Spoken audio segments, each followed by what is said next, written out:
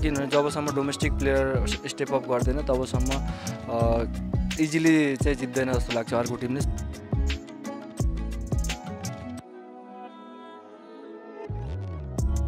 छ डेफिनेटली अब मैले डिपिएलमा क्याच गर्दा उहाँले ट्विट नै गर्नुभएको थियो आफ्नो उसबाट। सो टिमलाई जतिखेर पनि मेरो इम्पोर्टेन्स हुन्छ। त्यो बेलाबाट म कसरी टिमलाई जिताउन सक्छु त्यस त्यो कुरामा चाहिँ मेरो फोकस रहनेछ। आखिर ब्याट बलले नै क्रिकेट खेल्ने हो सो त्यस त्यस्तो धेरै फरक चाहिँ छैन।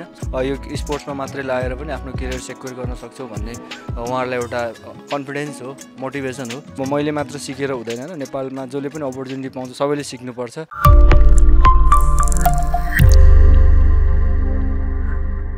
स्वागत छ दाइ क्यान्डा नेपालमा। Thank you so much thank you जुन पसिना बगाइरहनु भएको थियो नेट्समा हामीले अघि भर्खरकै देख्यौँ बिग सर्ट्सहरू हानिरहनु भएको थियो। कस्तो हुँदैछ आज दोस्रो दिनको ट्रेनिङ सेसनसम्म आइसक्दा? एज अ टिम म्यानेजमेन्टले हामीलाई जे रोल दिनुभएको छ होइन त्यसमा हामी प्र्याक्टिस गर्दैछौँ हार्डवर्क गर्दैछौँ। सो राम्रो भइरहेछ सपोर्ट हन्ड्रेड पर्सेन्ट सपोर्ट पाइरहेछ होइन म्यानेजमेन्टको तिरबाट। सो एकदम खुसी फिल भइरहेछ। Kathmandu Gorkhas one of the biggest फ्रेन्चाइजमा हुनुहुन्छ तपाईँ इम्पोर्टेन्ट प्लेयर हाम्रो नेसनल टिमको पनि इम्पोर्टेन्ट प्लेयर हुनुहुन्छ तपाईँ। तपाईँको अब रोल्स के हुन्छ टिममा अब तपाईँ विशेष गरी अहिले पछिल्लो समय जुन टिमसँगै रहिरहनु भएको छ होइन? क्लोजली हेर्नु भएको छ senior as a senior player के रोल छ तपाईँको टिम होइन एज अ सिनियर प्लेयर भन्दा पनि अब टिमको जुन तरिकाले मलाई ट्रस्ट गर्नुभएको छ टिम म्यानेजमेन्टले सो मेरो रोल भन्दा पनि मेरो जिम्मेवारी हो. सो टिमलाई जतिखेर पनि मेरो इम्पोर्टेन्स हुन्छ होइन त्यो बेलाबाट म कसरी टिमलाई जिताउन सक्छु त्यस त्यो कुरामा चाहिँ मेरो फोकस रहनेछ र सो त्यसमै म हार्डवर्क पनि गर्दैछु। जुन अहिले प्र्याक्टिस चलिरहेछ तपाईँहरूको टिममा मार्की प्लेयरमा करण केसी हुनुहुन्छ नेसनल टिममा सँगै खेलिरहनु भएको छ उहाँसँग। त्यो बाहेक पनि विभिन्न अन्य यङ ट्यालेन्टहरू पनि त्यस्तै हुनुहुन्छ। हाम्रो दिपेशजी हुनुहुन्छ क्रिसजी आइकोनिक प्लेयर हुनुहुन्छ। कसरी लिइरहनु भएको छ आफ्नो टिम? ओभरअल कुन साइडमा चाहिँ अलिक बढी ब्यालेन्स जस्तो देखिन्छ? हाम्रो टिम एकदमै होइन यङ साइड छ। सो हामी टी ट्वेन्टीमा एकदमै फिट पनि हुनुपर्छ। सो फिल्डिङ हाम्रो एकदमै इम्पो राम्रो छ जस्तो लागिरहेछ मलाई त्यस सँगसँगै अनि एक्सपिरियन्स प्लेयर र जुनियर प्लेयरको कम्बिनेसन एकदमै राम्रो छ। सो टिममा सबैभन्दा राम्रो कुरा युनिटी छ। जुनियरलाई पनि सपोर्ट त्यत्तिकै मिलिरहेछ भने सबैलाई जुनियर सिनियरको त्यो एउटा सीमा छैन। सो सबैलाई सिमिलरली ट्रिट गरेर राख्नु भएको छ। सो त्यो एकदमै राम्रो कुरा हो।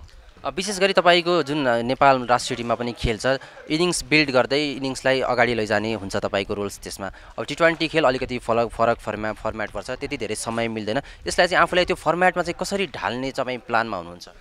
टी ट्वेन्टी र वान डे भन्दा पनि म सिचुएसनमा त्यो सिचुएसनमा मेरो म के गर्न सक्छु सो त्यो कुरामा बढी फोकस गर्छु र मेरो त्यहाँनिर के रोल हुन्छ टिमलाई कसरी जिताउने त्योमा बढी फोकस गर्छु र सो टी ट्वेन्टी र वान डेमा ओभर्सको अलिकति धेरै टाइम हुन्छ। सो त्यो त्यो कुरा चाहिँ हो डेफिनेटली। तर आखिर ब्याट बलले नै क्रिकेट खेल्ने हो। सो त्यस त्यस्तो धेरै फरक चाहिँ छैन। सो आफूले चाहिँ टिमलाई त्यहाँदेखि मेरो रोल के हो होइन? टिमको कस्तो सिचुएसनमा मेरो ब्याटिङ आउँछ। सो टिमलाई मैले कसरी कन्ट्रिब्युट गर्न सक्छु त्यो कुरामा बढी ध्यान दिइरहेको छु मोस्टली तपाईँ अब मोस्ट डिपेन्डेबल ब्याट्सम्यान हुनुहुन्छ नेसनल टिममा तर पनि टी ट्वेन्टी साइड्समा पछिल्लो केही समयदेखि इन आउट इन आउट चलिरहेछ होइन? यो टुर्नामेन्टले तपाईँको त्यो टी ट्वेन्टीमा जो पर्मानेन्ट पोजिसन चाहिँ सेट गर्न चाहिँ कतिको तपाईँले त्यसमा अपर्च्युनिटी देखिरहनु भएको छ? म अहिले चाहिँ टी ट्वेन्टीमा नेसनल टिममा छैन तर पनि मैले लास्ट केही वर्ष अगाडिदेखि टी ट्वेन्टी लिगहरू खेलिरहेको छु डिपिएल पिपिएल इपिएल होइन? सबैमा राम्रै पर्फर्मेन्स गरिरहेको छु। सो आफूले त्यस्तो धेरै प्रेसर लिएको छैन। सो टिमले के जिम्मेवारी दिन्छ मेरो रोल के हो? म टिमको लागि कसरी कन्ट्रिब्युट गर्न सक्छु? त्यो कुरामा बढी ध्यान दिइरहेको छु। अब विशेष गरी अहिले तपाईँको टिममा पनि foreign player Michael Levitt Gerhard Erasmus हुनुहुन्छ। उहाँहरूसँग तपाईँ टियुमा पनि नेपालमा पनि धेरैचोटि खेलिसक्नु भएको छ। कस्तो लाग्दैछ उहाँहरूसँग एउटै टिममा भएर एउटै ड्रेसिङ रुम सेयर गरेर खेल्न पाउँदैछ? यस्तो हो। अब हामी सधैँ नेपाल प्लेयरहरूसँग मात्र खेल्छौँ सो नेपाली प्लेयरहरूले कसरी प्रिपेरेसन गर्छ कसरी आफूलाई तयार गर्छ त्यो कुरा थाहा छ भनेपछि अब उहाँहरूले चाहिँ म्याचभन्दा अगाडि कसरी आफूलाई प्रिपेयर गर्नुहुन्छ होइन? एज अ म्याचलाई कसरी लिनुहुन्छ त्यो कुराहरू पनि सिक्ने मौका हो हाम्रो लागि। सो राम्रो कुराहरू अपर्च्युनिटी छ हाम्रो लागि सबैको लागि। जुन यो अहिले क्यानले बिग बनाउँदैछ यो एनपिएललाई ब्रोडकास्टिङदेखि लिएर अन्य विभिन्न कुरामा स्तरोन्नति भइरहेको छ। के भन्न चाहनुहुन्छ? अहिले ब्रोडकास्टिङ पनि स्टार स्पोर्ट्समा हुँदैछ। तपाईँ अब प्लेयर त भइहाल्नु एज अ फ्यान पनि अब पछाडि बसेर हेर्दा कस्तो हुँदैछ यो एनपिएलको तयारी? एकदमै राम्रो होइन। यो हाम्रो लागि बिग अपर्च्युनिटी हो र यो स्टार स्पोर्टदेखि लिएर जुन तरिकाले हाम्रो नेपालमा अहिले एनपिएललाई महोत्सवको रूपमा मनाइरहेछन् सो यसले गर्दा चाहिँ नेपाल क्रिकेट धेरै माथि जानेवाला छ होइन? छिट्टै सबै एन्ड एज अ इन्डिभिजुअल प्लेयरले पनि राम्रो पैसाहरू अमाउन्टहरू पाइरहेछ। सो आफ्नो करियर यो स्पोर्ट्समा मात्रै लगाएर पनि आफ्नो करियर सेक्योर गर्न सक्छौँ भन्ने उहाँहरूलाई एउटा कन्फिडेन्स हो मोटिभेसन हो। सो एकदमै राम्रो खुसी फिल भइरहेछ कि फर्स्ट टाइम हामी स्टार स्पोर्टमा डोमेस्टिक प्लेयरदेखि सिनियर प्लेयरदेखि सबै हामी खेल्ने मौका पाइरहेछौँ। सो त्यसमा हामीलाई धेरै कुराहरू मोटिभेसन चाहिँ छ डेफिनेटली विशेष गरी यो क्रिकेटमा त्योभन्दा पनि टी ट्वेन्टी क्रिकेटमा फिल्डिङ एकदमै महत्त्वपूर्ण हुन्छ। तपाईँ अनि आफ्नो यो नेपाल राष्ट्रिय टिमको पनि best fielder one of the best fielder हुनुहुन्छ। तपाईँलाई जोन्टी रोड्स भनेर पनि चिनिन्छ टिममा। अब त्यो फिल्डिङले नै गेम जिताउन अब तपाईँ चाहिँ त्यो काबिल हुनुहुन्छ टिममा त्यसलाई चाहिँ कसरी हेर्नु हेरिरहनु भएको छ तपाईँले? ब्याटिङ बोलिङ होइन कुनै दिन चल्छ कुनै दिन चल्दैन। सो फिल्डिङ भनेको बिस ओभर ग्राउन्डभित्र गर्नु नै पर्छ। सो एभ्री बलमा चाहिँ हामीले हन्ड्रेड पर्सेन्ट प्रेजेन्ट रहेर कसरी चाहिँ टिमलाई कन्ट्रिब्युट गर्न सकिन्छ कसरी चाहिँ दस रन पाँच रन होइन आफ्नोतिरबाट एज ए इन्डिभिजुअल रोक्न सकिन्छ कसरी टिमलाई हेल्प हुन्छ भनेर त्यसमा चाहिँ बढी फोकस हुन्छ र त्यो त्यो त्यो दस रन पाँच रनले टिमलाई जिताउन पाउँदा कुनै बेला सिचुएसन त्यस्तो हुन्छ कि एउटा रनआउट एउटा डिफिकल्ट क्याचले पनि टिम जित्छ। सो त्यो त्यो कुराको लागि चाहिँ हामी सबै तयार हुनुपर्छ र मलाई लाग्छ कि टी ट्वेन्टीमा स्पेसली फिल्डिङ त एकदमै इम्पोर्टेन्ट छ। अर्को ओरिजिनल जोन्टी रोड्स छ पोखरा एभेन्जर्सले ल्याएको छ तपाईँ नेपालको जोन्टी रोड्स उहाँसँग अस्ति भेट्न पाउनुभयो भेट्नु भेट भयो के के छ? अहिले चाहिँ भेट भएको छैन। होप अब टुर्नामेन्टमा भेट होला। सो पहिला चाहिँ भेटिसकेको छु।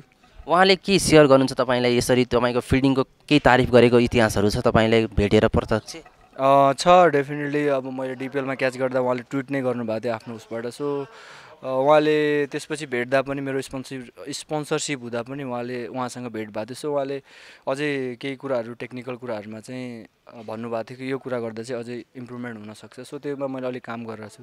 विशेष गरी अहिले पोखरा राइनोजमा हुनुहुन्छ जोन्टी के लाग्छ? हाम्रो काठमाडौँ गोर्खाजमै भइदिएको भए हुन्थ्यो जस्तो लाग्छ। के छ? सरी के भन्नुभयो? अहिले चाहिँ पोखरा राइनोजको मेन्टरसिप हेरिरहनु भएको छ जोन्टीले जोन्टी सरले। अब काठमाडौँ राइनो काठमाडौँ गोर्खाजमै भएको भए चाहिँ मैले अझै बढी फाइदा लिन सक्थेँ जस्तो लाग्छ। त्यस्तो त होइन त्यस्तो त होइन तर पनि अब जे छ जहाँ हुनुहुन्छ होइन उहाँले हरेक टिमलाई अब मैले मात्र सिकेर हुँदैन होइन नेपालमा जसले पनि अपर्च्युनिटी पाउँछ सबैले सिक्नुपर्छ। सो अब सबैले अब तुलना गर्दाखेरि जोन्टी रुटसँग तुलना गर्छन्। सो म आफूले त्यस्तो मान्दिनँ होइन किनभने उहाँ त लेजेन्ड हो। म भर्खर ग्रोइङ गर्दैछु। सो त्योभन्दा पनि म कसरी चाहिँ राम्रो गर्न सक्छु फिल्डमा भन्ने चाहिँ मेरो कन्सर्न हुन्छ जहिले पनि।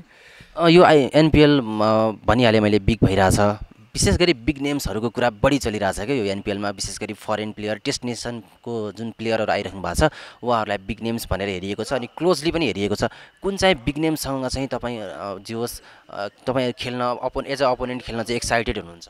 एक्साइटेड भन्दा पनि मलाई यस्तो लाग्छ बिग नेम भन्दा पनि हाम्रो जुन टिमको डोमेस्टिक प्लेयरले पर्फर्मेन्स गर्छ त्यो टिम जित्छ जस्तो लाग्छ। किनभने हामी जुन पनि लिगमा अब हेर्नुहोस् अब तपाईँको सातजना डोमे लोकल प्लेयरहरू हुन्छ तिन चारजनाले केही पनि त्यस्तो इफेक्ट गर् गर्ला जस्तो लाग्दैन। किनभने जबसम्म डोमेस्टिक प्लेयर स्टेप अप गर्दैन तबसम्म इजिली चाहिँ जित्दैन जस्तो लाग्छ अर्को टिमले। सो योसँग खेल्न पाउनु भन्दा पनि अब एज अ अपोनेन्ट जुन टिमसँग पनि हामी खेल्न रेडी छौँ।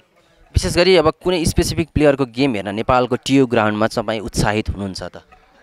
त्यस्तो त छैन त्यस्तो छैन बर बट त्यही हो आफ्नो अपोनेन्ट जो पनि हुन्छ आफ्नो हन्ड्रेड पर्सेन्ट दिने आफ्नो स्किलमा ट्रस्ट गर्ने र आफूलाई ट्रस्ट गर्ने चाहिँ हो मेन कुरा। कुनै पनि खेलाडीको त्यस्तो तपाईँ सबैले आफ्नो मैदानमा खेल देखाउने भन्नेमा हुनुहुन्छ तपाईँ? हजुर हजुर। हस् all the best for the tournament thank you so much thank you thank you